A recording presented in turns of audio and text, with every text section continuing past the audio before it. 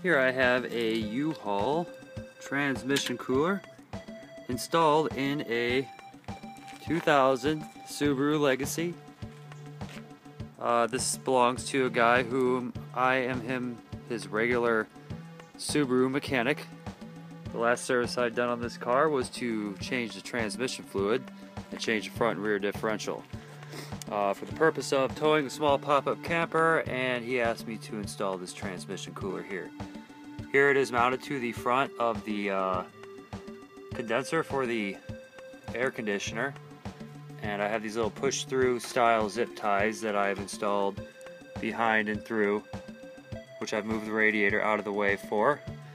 I could have just punched the thing all the way through the radiator and out the other side, but I wanted to maintain the ability to remove the radiator for service such as timing belts, water pumps, coolant flushes, etc.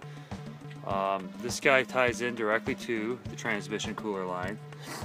And there where you see that yellow wax, that's where I had uh, used the uh, T-Tech machine to perform the transmission flush. Uh, that line there comes out of the transmission and into the bottom of the radiator. And then the return line is intercepted by the transmission cooler.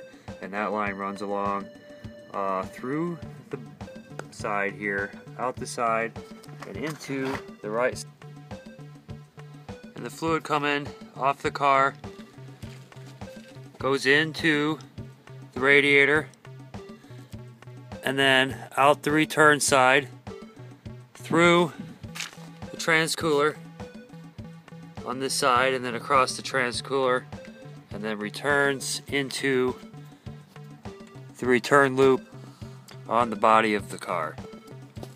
And this is our U-Haul transmission cooler.